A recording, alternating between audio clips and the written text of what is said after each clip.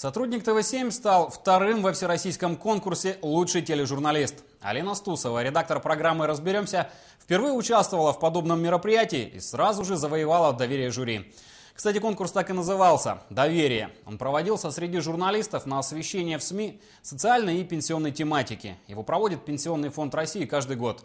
В этом году в нем приняли участие более 200 журналистов из 60 регионов страны. Среди победителей журналисты таких федеральных изданий, как «Коммерсант» и «Ведомости», а также редактор программы «Разберемся ТВ-7» Алина Стусова. Она заняла второе место в номинации «Лучший журналист». 6 декабря Алина отправится в Москву на торжественную церемонию награждения победителей.